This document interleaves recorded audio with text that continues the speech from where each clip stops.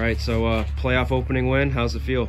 Feels great coming out here and beating a great team like Homer. I mean, won it two years ago, and we knew it was going to be a tough game coming into here, but definitely gives us some confidence for the rest of the run. Yeah, it feels great. I mean, they're a great team, and we played a great game, and it feels good. I don't know you had five runs in the bottom of the sixth inning, kind of a clutch performance for you guys. Is that kind of what you pride yourselves in this year? Yeah, we like to feed off each other's energy. Someone makes a big hit like Cooper had, that ground rule double, we kind of feed off it and kind of got everyone going, got our energy back up from what it was. And how, how did that uh, double feel for you? Did you just kind of saw the pitch coming? Yeah, it felt good. I mean, it was, it was just a hit. I mean, nothing special. It was just. What's the uh, the team chemistry like this year? Uh, everyone's really close. I mean, juniors and seniors doing a great job. I mean, we got a freshman, a few sophomores too, and I feel like they're really great part of the team, and everyone gets along really well. So. Okay.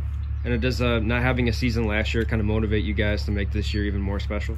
Yeah, definitely. I mean, we were supposed to have a great team last year, and it kind of hurt not getting a season, but definitely uh, makes us motivated to have a great season this year since we know we lost it.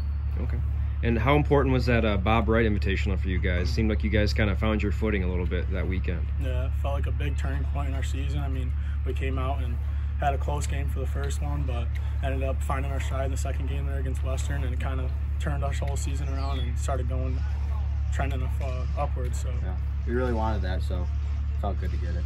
Okay. And what do you guys need to do to uh, to win a regional title this year? I mean, we just got to play our game like we did today. Big hits, big plays in the field, no errors, and have good pitching, and I think we can do it. Yeah, just play our game.